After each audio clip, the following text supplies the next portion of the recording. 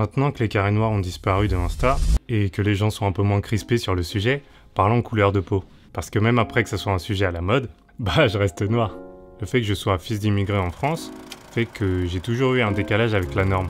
Je suis issu d'une minorité, une minorité visible. D'ailleurs, mon frère a fait une vidéo super intéressante sur le sujet. Je t'invite à aller la voir, le lien est dans la description et se trouve euh, là en haut.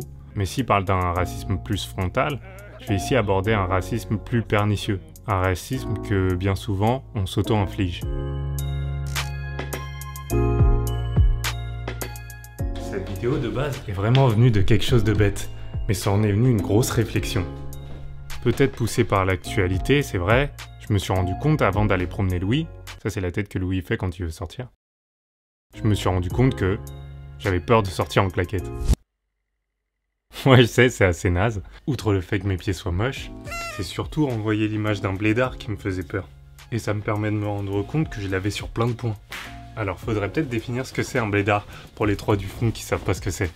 En gros, c'est une façon de se moquer de quelqu'un qui vient d'arriver du pays et qui a pas les codes. Par exemple, typiquement, mon cousin qui disait ma iPod pour parler de son baladeur, ça c'est typiquement blédard. J'avais peur d'être un blédard sur la musique que j'écoute par exemple. On a toujours écouté des musiques malgaches à la maison, mais c'est sûr que j'aurais pas parlé de musique malgache en dehors du cercle familial. Mais aujourd'hui, beaucoup plus.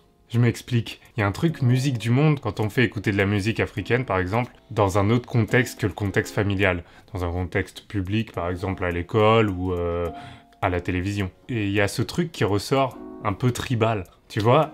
Le truc pas aussi profond que du Boris Vian ou euh, du Brassens par exemple.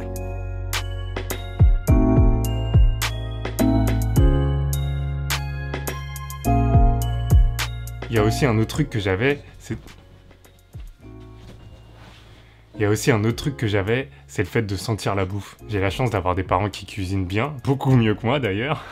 Mais je m'en souviens que c'était une gêne constante, à l'époque du collège, par exemple, de me dire que euh, en allant au collège, j'allais sentir le riz ou euh, le samoussa. Ouais, je sais, je suis un peu bizarre. Hein. Mais ce sentiment, qu'aujourd'hui j'assimilerai à un sentiment de honte, j'ai l'impression qu'il est en partie dû au fait qu'on voit toujours l'Afrique sous un côté folklorique ou sauvage, et le continent est moqué pour ça.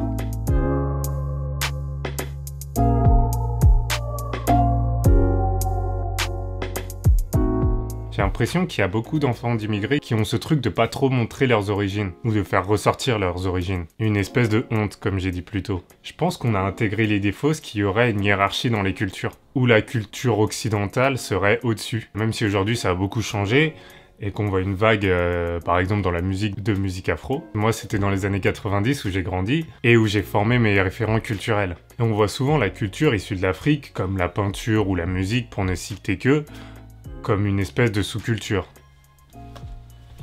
On voit la culture occidentale comme au-dessus parce que justement on juge les autres cultures avec des critères occidentaux autocentrés. Et ça peut paraître des détails comme ça, tout ce que j'ai raconté sur la musique ou sur la bouffe, mais ça reste des référents culturels qui sont jamais validés par la norme. Du coup, il y a une espèce de gymnastique mentale quotidienne qui fait que tu te sens jamais vraiment légitime et que tu essaies toujours de prouver quelque chose.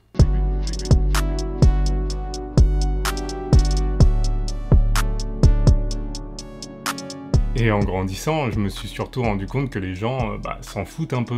En général, on est tous focalisés sur nos propres complexes. Et au pire, bah, les gens te prendront pour un blédard, mais bon, on peut pas contrôler ce que les gens pensent de nous. Cette vidéo, c'est un peu pour adresser toutes les limitations qu'on peut se mettre en tant qu'enfant d'immigrés et de pousser la réflexion un peu plus loin que le racisme frontal, sans l'occulter parce qu'il est vraiment fou malade, et malheureusement les récents événements nous l'ont montré, il y a quand même une grosse partie de racisme ordinaire qui est présent et qu'on vient même à se l'infliger. Je dis pas que je suis totalement guéri et que mes biais connectifs ont totalement disparu, mais par contre c'est bon, ça fait des semaines que je promène Louis en claquette.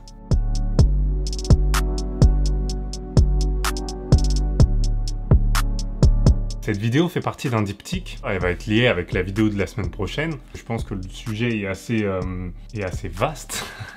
Et je pense même qu'en deux vidéos de 5 minutes ou 10 minutes, je sais pas combien de temps elle va durer, j'arriverai pas à adresser tous les points. Mais euh, voilà, j'ai essayé de prendre un peu de recul par rapport à tous les événements qui sont passés. Euh, peut-être qu'il y en a qui ont plus du tout envie d'en entendre parler, et je comprendrai, mais euh, j'ai trouvé ça intéressant d'en discuter. Allez voir la vidéo d'Harry qui parle de racisme beaucoup plus frontal. Je pense que justement elle est assez complémentaire avec ce que je raconte ici. Je sais que cette vidéo va peut-être pas parler à tout le monde parce que je fais partie d'une minorité forcément.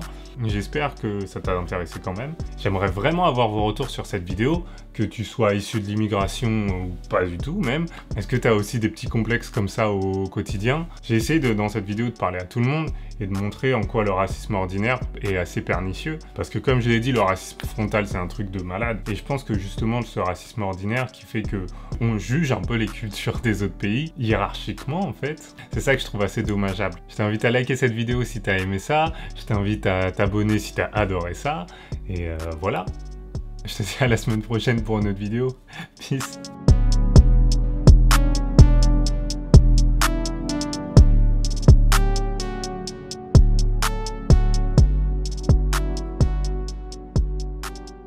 Allô oui?